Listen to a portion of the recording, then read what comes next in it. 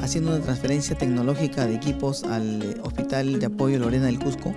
Es un hospital muy importante en la región y esperamos que con la donación de estos equipos que son destinados al mejor tratamiento del paciente se puedan resolver los problemas oftalmológicos de retina y vitrio y se pueden hacer buenos exámenes de, detección temprana de algunas patologías, así como con el fotocoagulador hacer un tratamiento oportuno a pacientes que pueden presentar retinopatía diabética, por ejemplo.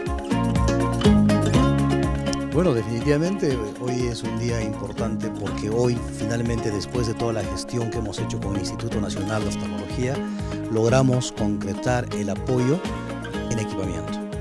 Estos equipos altamente tecnológicos que están viendo acá enfrente, que son los tomógrafos, microscopios y otros equipos de alta especialidad, por supuesto van a mejorar primero la capacidad de respuesta de nuestro hospital. Son instrumentos que van a facilitar la labor de nuestros médicos especialistas oftalmólogos y esto se va a reflejar grandemente en mejorar primero la calidad de atención y segundo el beneficio en la salud ocular de nuestros pacientes.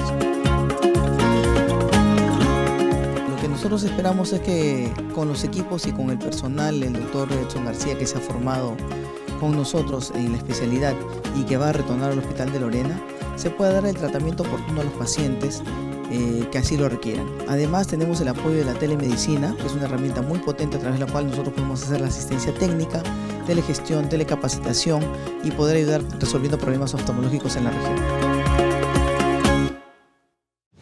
El Perú primero.